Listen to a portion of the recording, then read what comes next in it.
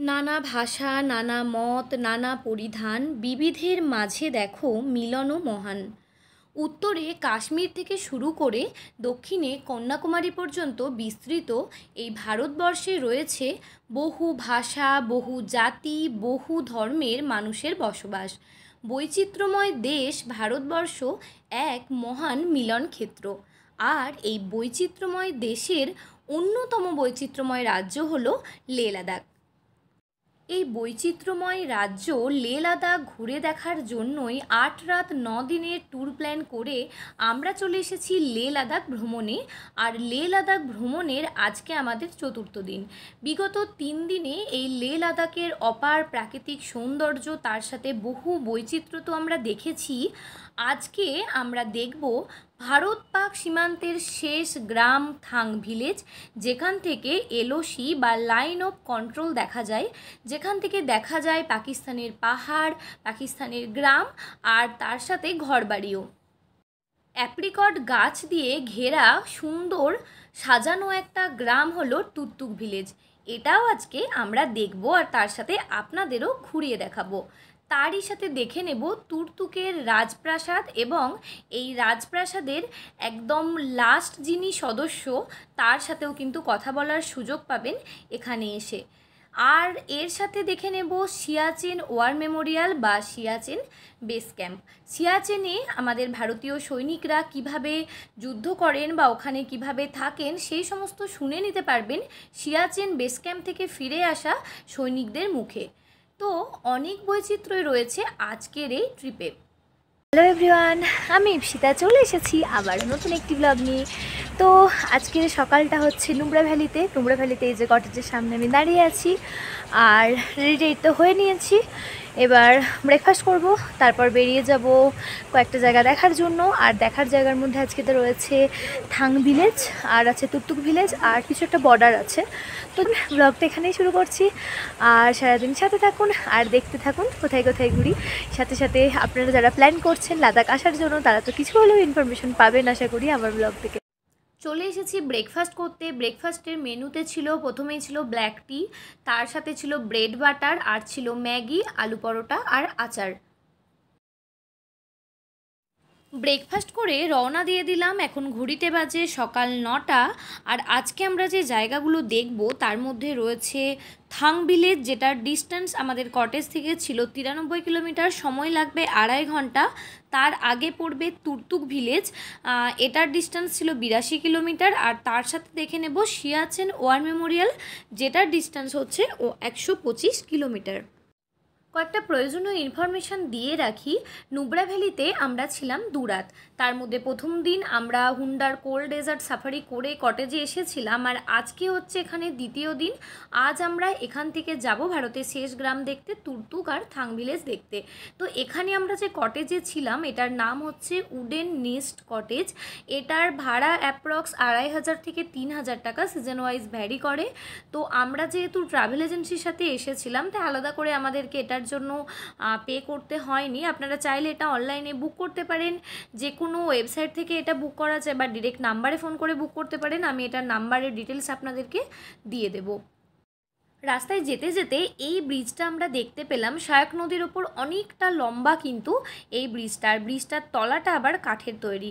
তো একটা ব্যাপার আছে এখানে। গাড়িগুলো দেখুন, সব লাইন দিয়ে দাঁড়িয়ে আছে। এখানে নিয়ম হচ্ছে, একটা গাড়ি পুরোটা পেরিয়ে যাবার পর আরেকটা গাড়ি কিন্তু ব্রিজের ওপর আসবে। তো আমাদের গাড়িটাও এতক্ষণ ওয়েট করছিল। তো ওই যে গাড়িটা দূরে দেখা যাচ্ছে, ও চলে যাওয়ার পর কিন্তু আমাদের ড্রাইভার দাদা ব্রিজের ওপর আসাটা শুরু করল। আর ব্রিজের নিচের পোর্শনটা কাঠ দিয়ে তৈরি। আর কিছুক্ষণের মধ্যেই আমরা পৌঁছে যাব সিয়াচেন ওয়ার মেমোরিয়াল, আর এই জায়গাটা দেখুন, কি দারুণ লাগছে দেখতে চারপাশটা। আমরা এখন চলে এসেছি সিয়াচেন ওয়ার মেমোরিয়াল দেখতে। উনিশশো চুরাশি খ্রিস্টাব্দে ভারত এবং কাশ্মীরের মধ্যে সিয়াচেন ওয়ার হয়েছিল আর সিয়াচেন হিমবাহের অধিকারের জন্য এই সামরিক দ্বন্দ্ব হয়েছিল আর এই লড়াইয়ে যে সমস্ত সৈনিকরা শহীদ হয়েছিলেন তাদের উদ্দেশ্যেই এই মেমোরিয়াল তৈরি হয়েছে এবং সেই সমস্ত সৈনিকদের নাম লেখা আছে এখানে একটা স্তম্ভের মধ্যে, সেটাই আমরা দেখব। এখানে একটা মডেল দেখতে পাচ্ছেন, একজন সৈনিকের। তিনি এক রকমের পোশাক পরে এখানে বসে আছেন। সিয়াচেন হিমবাহে কিন্তু সৈনিকরা এভাবেই থাকে। তো সেটা এখানে তৈরি করা আছে। এই হচ্ছে সেই স্ট্যাচু বা মেমোরিয়াল যেখানে এই শহীদ সমস্ত শহীদ সৈনিকদের নাম লেখা রয়েছে।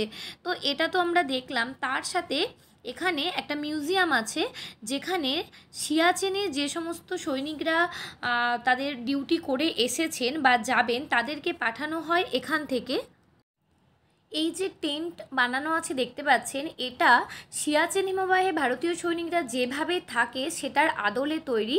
তো একজন সৈনিক দু চার দিন আগেই সিয়াচেন হিমবাহ থেকে তার ডিউটি করে ফিরেছেন। তিনি তার এক্সপিরিয়েন্স আমাদের সাথে শেয়ার করছিলেন। ওই মাইনাস তিরিশ, চল্লিশ ডিগ্রি টেম্পারেচারে ওনারা ওখানে কীভাবে সারভাইভ করেন, এই সমস্ত শুনলে আপনার গায়ে কাঁটা দেবে, সাথে চোখে জলও চলে আসবে। আমরা এখন সিয়াচেন ওয়ার মেমোরিয়াল দেখে যাচ্ছি টুকটুক ভিলেজের দিকে। থাং ভিলেজের দিকে যতই এগিয়ে চলেছি, চারপাশের ভূপ্রকৃতি কীরকম বদলে যাচ্ছে দেখুন। রাস্তা ক্রমশ দুর্গম হচ্ছে আর তার চার সাথে দেখতে পাচ্ছি যে চারপাশ কীরকম রুক্ষ সূক্ষ্ম। আবার কিছুক্ষণ পর দেখতে দেখতে এখন আমরা শায়ক নদীর একদম পাশ দিয়ে চলেছি। থাং ভিলেজ এখান থেকে ওই ছ সাত কিলোমিটার দূরত্বে আর যাওয়ার পথে আমরা বেশ কয়েকটা গ্রাম পেরিয়েছিলাম, এগুলোর মধ্যে আমার মনে আছে ট্যাক্সি ভিলেজ একটা ছিল একটা ছিল বালতি গ্রাম, আর এখানে না খুব সুন্দর ছোট ছোট বাড়ি রয়েছে, গাছপালা দিয়ে ঢাকা স্কুল রয়েছে, আর্মির স্কুল রয়েছে দেখেছি, তার সাথে হসপিটাল রয়েছে মানে বেশ সুন্দর ছবির মতো গ্রামগুলো। রাস্তা দিয়ে পেরোতে পেরোতে দুদিকে মানে দেখতে দেখতে মনটা ভরে যাচ্ছিল। আমরা এখন টুটু ভিলেজ পেরিয়ে যেটা লাস্ট ভিলেজ ইন্ডিয়ার থাং ভিলেজের দিকে যাচ্ছি। থাং ভিলেজ থেকে কিছুটা আগেই এই জায়গা থেকে কিন্তু লাইন অফ কন্ট্রোল দেখা যায়। জীবনে প্রথমবার লাইন অফ কন্ট্রোল দেখলাম, অন্যরকম একটা ফিলিংস হচ্ছিল। Indo Pak border view point just পেরোলাম, আর এখানে কিন্তু পাকিস্তানের সৈন্যরা আমাদের ওপর নজর রাখছে। আর থাং ভিলেজ, এসে গেছি তো এখানে দেখুন লেখা আছে যে last village of India Thang village, এটা একটা বেসিক্যালি একটা ক্যাফে ক্যাফের গায়ে এটা লেখা আছে, তো আপনাদেরকে দেখিয়ে দিলাম। এই বোর্ডে লেখা আছে, ভারত পাক সীমান্তে ভারতের দিকে শেষ গ্রাম হচ্ছে থাং ভিলেজ, আর পাকিস্তানের দিকে শুরু হচ্ছে যে গ্রাম সেটার নাম হচ্ছে ফার্নু ভিলেজ। তো এখানে একটা স্টোরি রয়েছে, সেটা হচ্ছে উনিশশো একাত্তরের যুদ্ধের আগে গ্রামগুলো কিন্তু পাশাপাশি ছিল এবং মানুষ একের সাথে মিলেমিশে বাস করত। কিন্তু উনিশশো একাত্তরের যুদ্ধের পর, ষোলোই সতেরোই ডিসেম্বরের পর হঠাৎ করেই এলওসির দ্বারা গ্রামগুলোকে আলাদা করে দেওয়া হয়। তো তাতে করে যেটা হয়েছিল, আর কোনো ফ্যামিলির হাজব্যান্ড হয়তো রয়ে গিয়েছে থাং ভিলেজে, তো তার ওয়াইফ রয়ে গিয়েছে। চলে গেছে পাকিস্তানে। আর বা কোনো বাড়ির বাচ্চারা হয়তো রয়ে গেছে, থাং ভিলেজে তার বাড়ির বাবা মা চলে গেছে, ওই অন্য পাকিস্তানের ভিলেজে। তো এরকম মর্মান্তিক ঘটনাটা শোনা যায়। আপনি এখানকার লোকাল মানুষদের সাথে কথা বললে জানতে পারবেন। সত্যি জিনিসটা কতটা দুঃখের। এরা একে অপরকে চেনে, জানে দেখতে পায়, পাশে কাজ করছে বা খেতে কাজ করছে, কিন্তু একে অন্যজনের সাথে কিন্তু মিট করতে পারে না। আর একটা ইনফরমেশান জানলাম, সেটা হচ্ছে পাকিস্তান থেকে নাকি এখানে ফোন আসে, এনারা এখান থেকে ওখানে ফোন করতে পারেন না। এখানে স্থানীয় মহিলারা অ্যাপ্রিকট বা বিভিন্ন ড্রাই ফ্রুটস এখানে বিক্রি করে থাকেন। আমরা নিজেরাও নিয়েছিলাম বেশ কিছু। তো আপনারা যদি থাং ভিলেজে যান, চেষ্টা করবেন কিছু এদের এদের থেকে নিতে। এখানের মানুষের জীবনযাত্রা কিন্তু খুবই কষ্টের। ওনাদের সাথে কথা বললে সেটা আপনারা জানতে পারবেন। যেহেতু এটা বর্ডার একটা ভিলেজ দুটো দেশের, তো এখানে কিন্তু অনেক রকম সমস্যা রয়েছে। এখন ইন্দো পাক বর্ডারের যেটা লাস্ট রেস্টুরেন্ট যেগুলো সেখানে বসে লাঞ্চের জন্য অর্ডার দিয়েছি ভাত ডাল। তো এই যে চারজনে বসে আছি খাবারের জন্য ওয়েট করছি দেড় তিনটা বাজে। খাবার এলে খেয়ে নিয়ে তারপর বেরিয়ে যাব। আর যাওয়ার সময় টুকটুক ভিলেজ একটু করে মানে দাঁড়িয়ে যা যা দেখার আছে দেখব। তারপর আবার ফিরে যাব। এসে গেছে দু প্লেট দাদার আর শাগনিকের। আমাদেরটা আসছে অন দ্য ওয়ে না আমাদের কটেজ থেকে বেরিয়ে থাং ভিলেজে পৌঁছাতে সময় লেগে গেছিল প্রায় তিন ঘণ্টা মতো, আর সব কিছু ঘুরে দেখতে দেখতে অনেকটা বেলা হয়ে গেছিল। তো আমরা এখানেই লাঞ্চ করে নিয়েছিলাম, আমরা অর্ডার দিয়েছিলাম ভাত, ডাল আর একটা পনিরের সবজি, আর শাগনিকার দাদা খেয়েছিল খিচুড়ি। তো খাবারের দাম একটু বেশি, তবে খাবার বেশ ভালোই ছিল এখানকার, চাইলে খেতে পারেন। থাং ভিলেজ থেকে তুর্তুক ভিলেজ যাওয়ার পথে সায়ক নদীর ওপর একটা হ্যাঙ্গিং ব্রিজ ছিল। জায়গাটা দেখতে এত সুন্দর লাগছিল যে গাড়ি থেকে না নেমে আর পারলাম না। দেখুন, সাদা বালি, সুউচ্চ পর্বতমালা, তার নিচ দিয়ে বয়ে গেছে খরস্রোতা নদী, সবুজ গাছপালা রয়েছে। সব কিছু মিলিয়ে দারুণ লাগছিল জায়গাটা। তো আমরা বেশ কিছুক্ষণ সময় এখানে কাটিয়েছিলাম, বেশ কিছু ছবি তুলেছিলাম।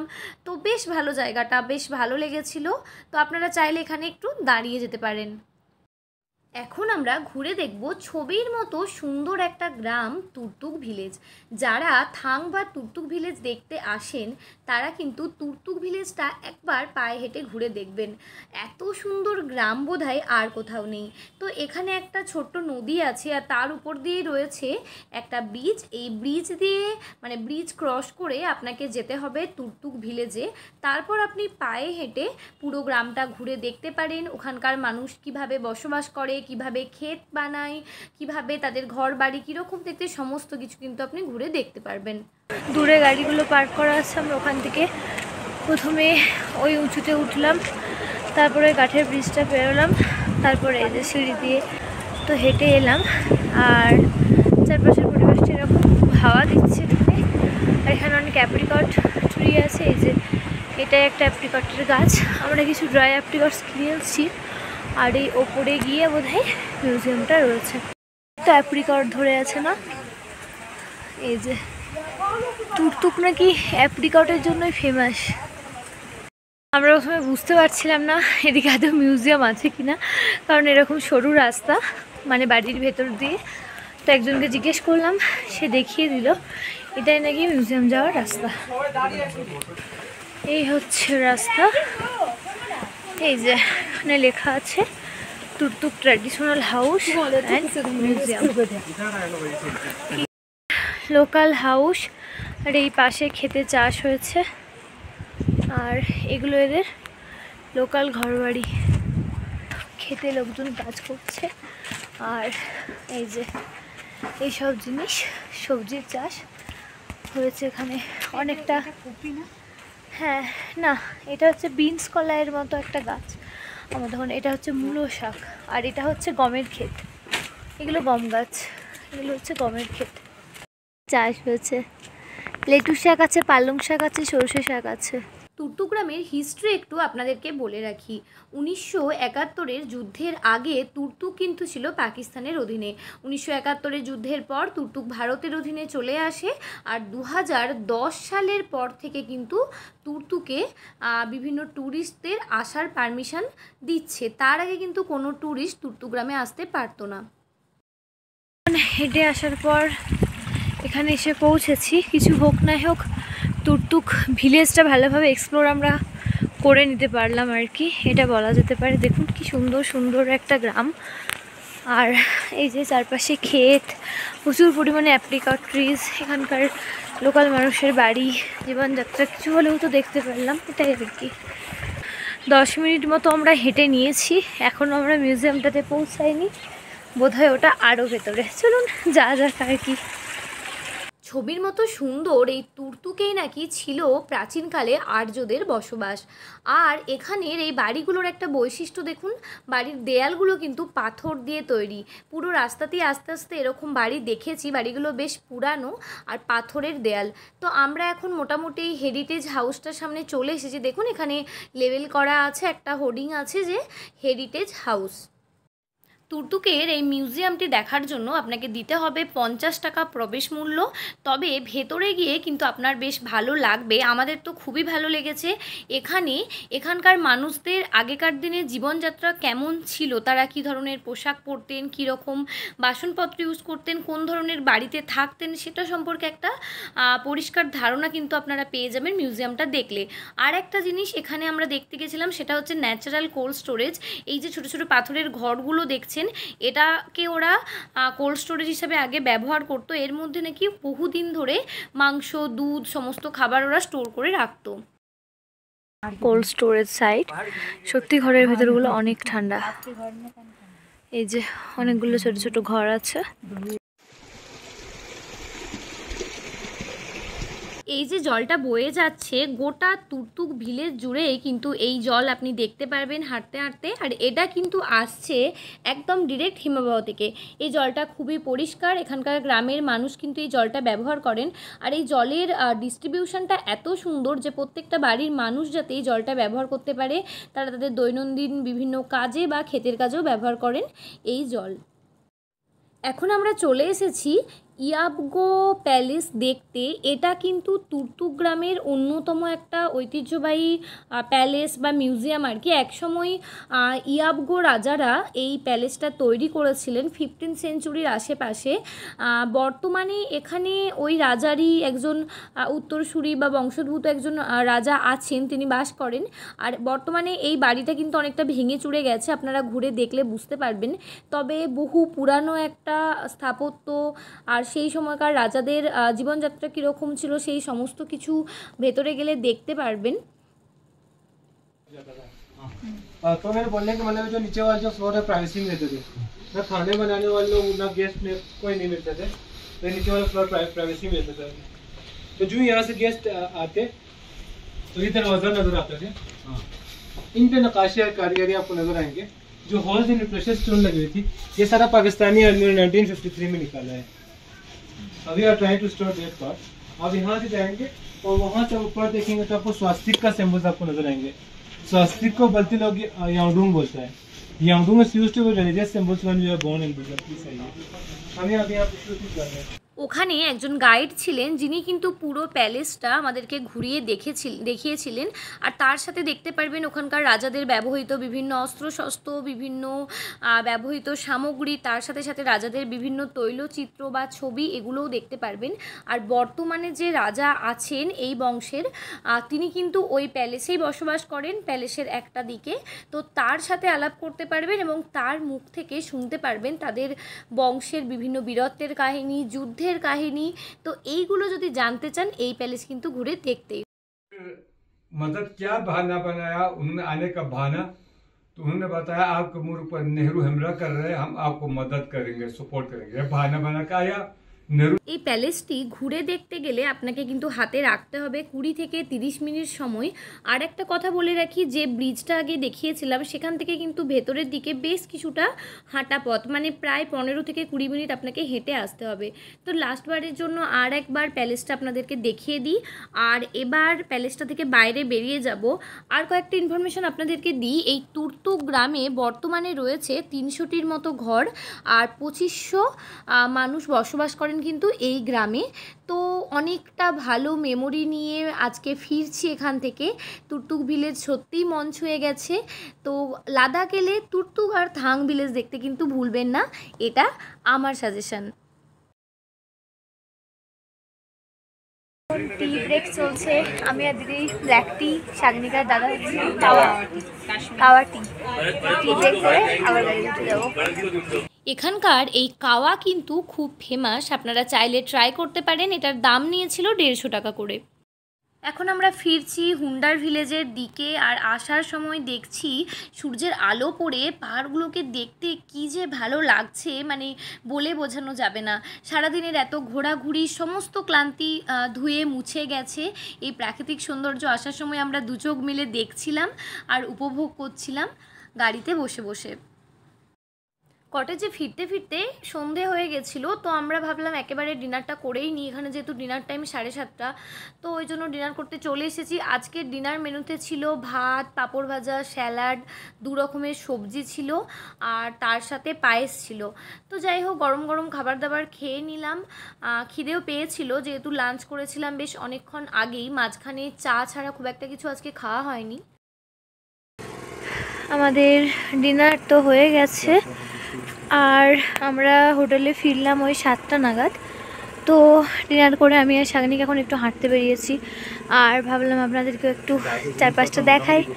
কালকে জিনিসপত্র মোটামুটি গুছিয়ে নিয়েছি, এই জন্য ভাবলাম কাল তো চলেই যাব সকালে। তো এই হ্যাঁ এসি স্টানটানো হয়ে গেছে। তো ভাবলাম রিসর্টটা আপনাদের লাস্ট আরেকবার একটু দেখিয়ে নিই। এই জন্য আর কি দেখুন, এরকম ছোট ছোট লাইট জ্বলছে। আর এই তো এগুলো কটেজগুলো বেশ দশটা মতো বোধহয় কটেজ আছে এখানে টোটাল তো এই আর কি একটু হাঁটছি। বাইরে এখন সাত আট ডিগ্রি টেম্পারেচার হবে। সাত আট ডিগ্রির কমও হতে পারে ছ ডিগ্রিও হতে পারে। বেশ ভালো রকম ঠান্ডা আছে। তো একটু হেঁটে নিই তারপরে রুমে গিয়ে তো ঘুমাবোই। ব্যাগপত্র যখন গোছানো হয়ে গেছে আর সেরকম কিছু কাজ নেই ঘুমিয়ে পড়া ছাড়া। সাত ডিগ্রি আচ্ছা। চার ডিগ্রি হবে হুম। আজকের মতো এখানেই শেষ করি। পরের দিন আমরা যাব প্যাংগং লেক। তো প্যাংগং লেক নিয়ে আসছে সামনে আরও একটি ব্লগ।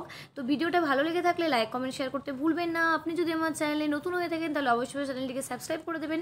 পাশে থাকা বেল বাটনটা প্রেস করতে ভুলবেন না নতুন ভিডিওর আপডেট পেতে।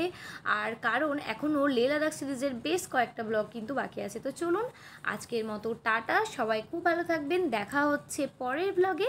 টাটা।